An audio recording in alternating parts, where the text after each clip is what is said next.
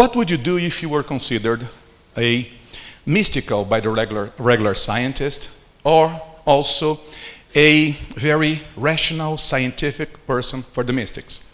How can you be with this kind of dichotomy?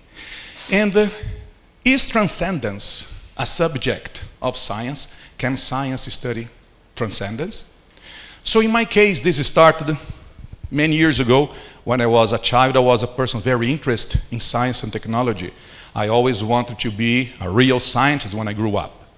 So, when I was still very young, I was known and considered to be the mad scientist of my group of friends and of my neighborhood. So, among many things I did, I caused some explosions at home. I caused short circuits. I had a kind of spider farm. I caused even some Frankenstein mutations in some of my mother's plants, to the delight of my friends and to my mother's horror, as you can imagine. But at the same time, in parallel with that, I start having what is nowadays called out-of-body experiences or astral projections.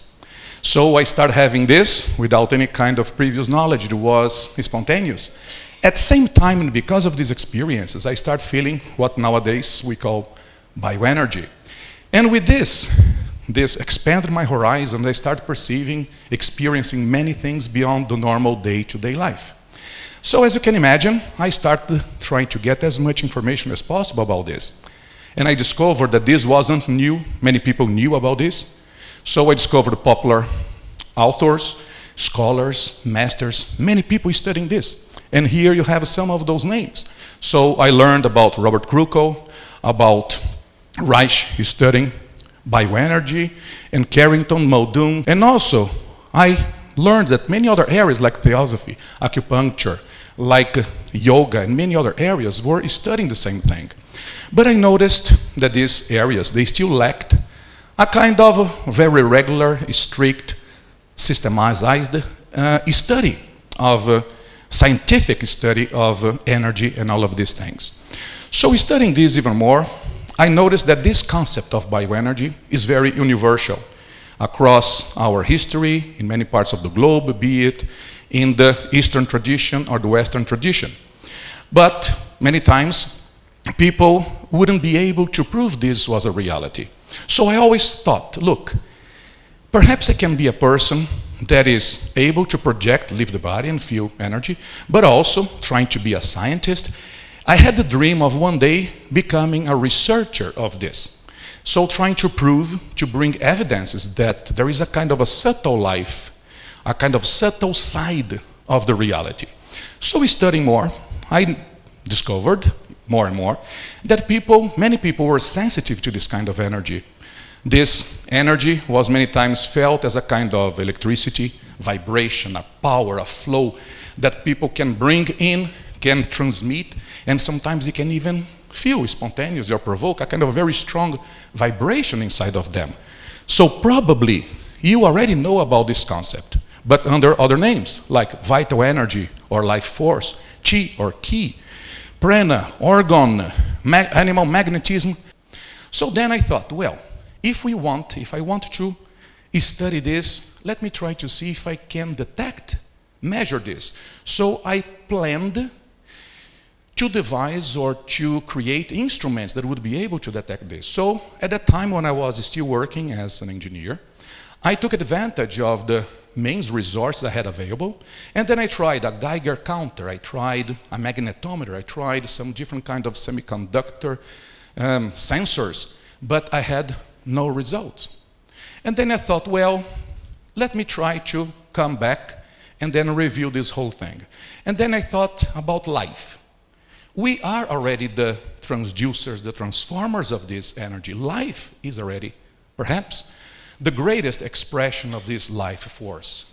So I thought of using life as an inspiration for those detectors, for those meters.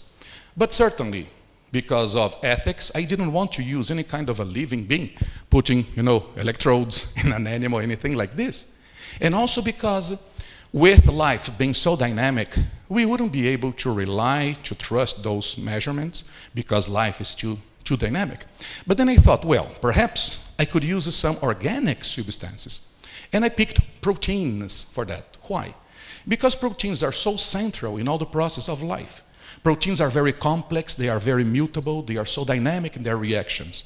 So then, at that time, I created a transducer uh, of, made of a collagen gel. Collagen is a kind of protein very typical, very abundant in us. And I tried to measure the electrical resistance of that gel under the influence of a transmission of energy or not. And I got very interesting results there. But this was 1983, many years ago. And then I had to stop that for a while because of all, a lot of other commitments I had to assume. But during this whole period, why I had to stop for that for a while, I studied, tried to be as updated, informed as possible about science. And there was something very interesting that came to be known as the nuclear magnetic resonance imaging. So I was trying with this system to see if we could exactly answer these very important questions. First of all, is this form of life force bioenergy real? Can we detect it? Can we measure it? Perhaps even giving it a unit, a scale, like we measure so many things in our life, like for instance, volts, for instance.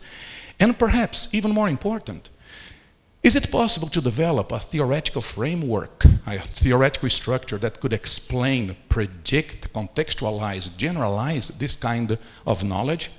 So, to try to answer some of these questions, I was studying the magnetic resonance that basically take pictures, images of the interior of our body. But there is a specific variation of this technique that is the functional MRI. That means it shows the magnetic resonance image while the body is functioning. And usually this is used to show the brain and is used in medicine for diagnostic, but mainly for research. How is the brain when the person meditates? How is the brain when the person has some specific emotions? And here, as an example, I try to bring three very simple things. Look the brain of one particular person when a person is speaking, like me here right now. When the person is moving the fingers touching the tip of the fingers, and when the person is listening. You can see when a person is just paying attention, listening, there is less mental processing or brain processing than speech. And more than just illustrating what the BOLD technique function MRI can show, uh, here I show this to you because we are going to use this as a comparison later. Try to see how much of the brain is used, kind of little, when we are speaking, when we are listening. So then what I thought, well, what if I get inside of this machine, or if I put someone there, and I ask the person to absorb energy from the external environment to transmit energy. Or even more, if the person can provoke what is called a vibrational state. Vibrational state is a kind of a very strong intensification of our energies.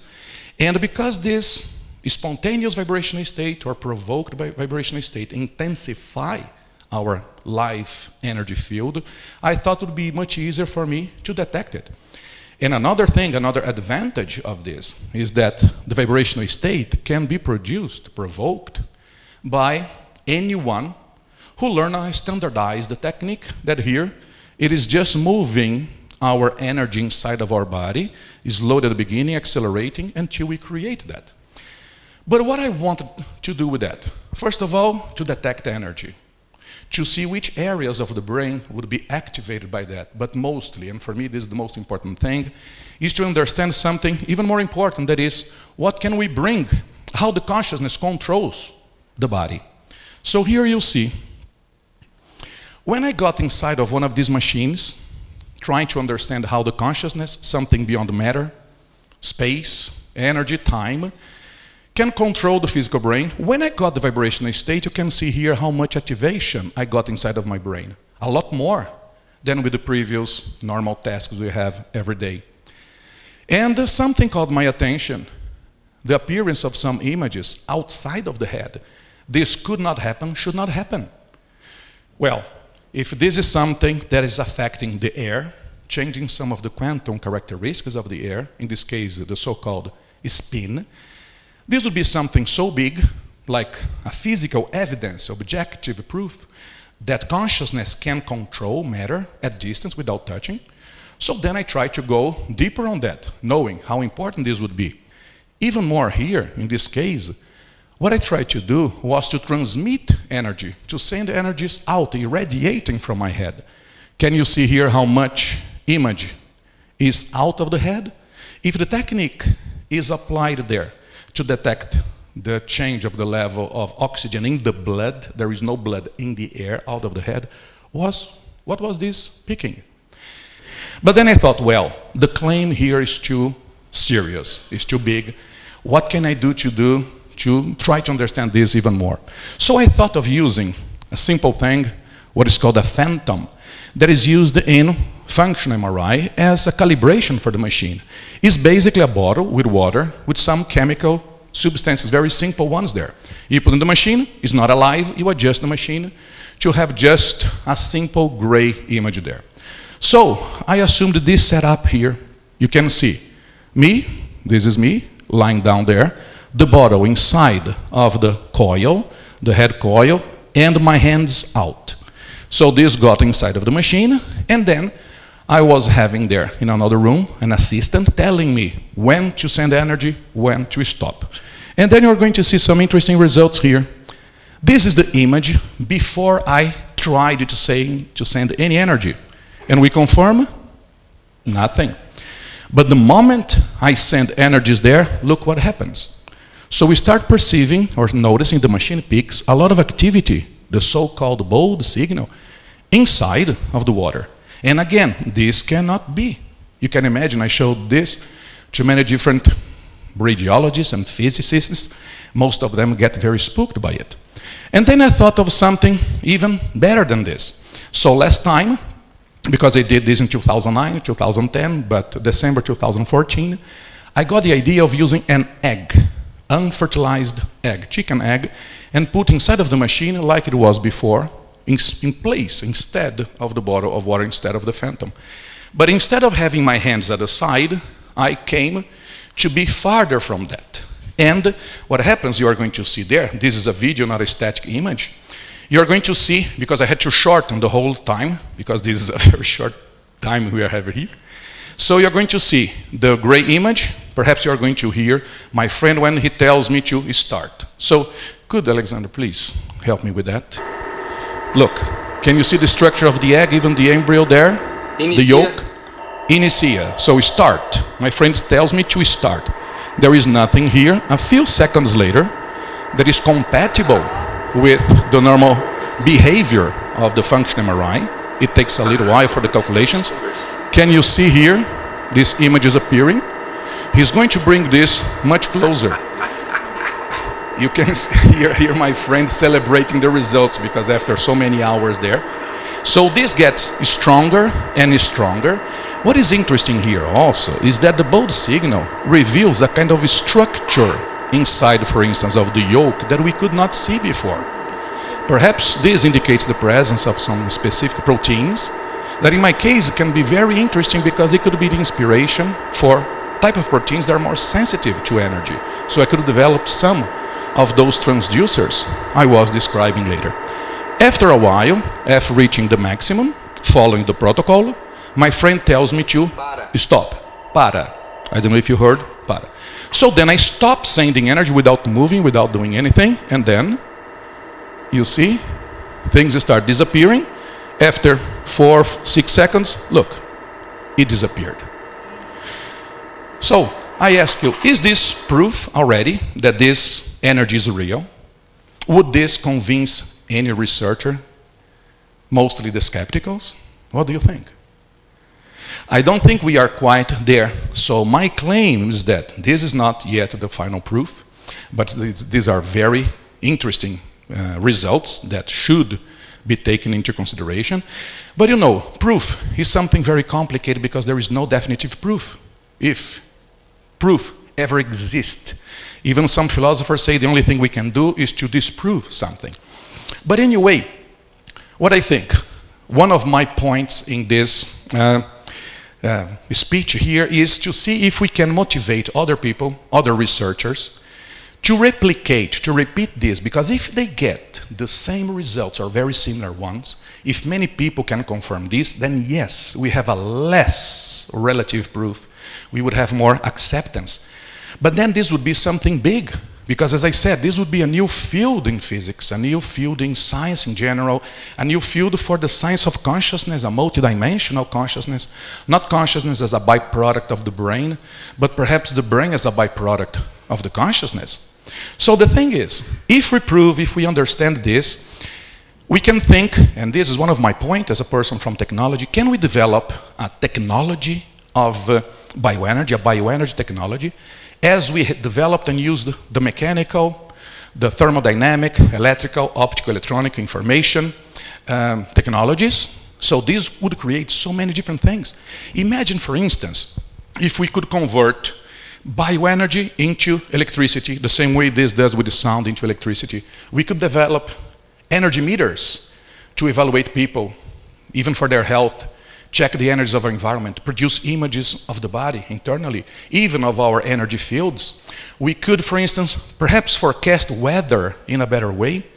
We perhaps could develop some telescopes, cameras, able to take pictures of the still invisible realities of the cosmos, detect other dimensions. Imagine if you could use a system like this to prove someone can have a projection, leaving the body, go into another room and return. Imagine the impact that this would be, like proving in a reliable, repeatable way that this can happen. And another way that I think is even more interesting, if we can convert electricity into bioenergy, another kind of transducer. But the point, and then I will finish with this, even being a person of technology, I think the biggest gain wouldn't be in technology, comfort, convenience, but is more in the philosophical area. Why? Because if we understand bioenergy, the bridge between consciousness and the world, we could, for instance, understand better our position in nature. Uh, what is the holistic structure or foundation of reality? We could comprehend ourselves much better. This would change everything. We would get, in my opinion, a different kind of worldview we could get a different level of maturity of the consciousness. We could, for instance, get a much deeper level of personal principles. Our collective ethics would be much better as we see and can deduct, deduce from, for instance, the near-death experiences. The way I see, this could start, catalyze like a golden era, golden age of the human being. This would change everything. So, my point here is, can you do something about it? Can you be a person part of this? Would you like to be part of this next leap in our evolution? Because this can be a bridge between the materialistic science and the science of transcendence, a science of the multidimensional consciousness. And I think everyone can be part of this. Thank you very much for your time.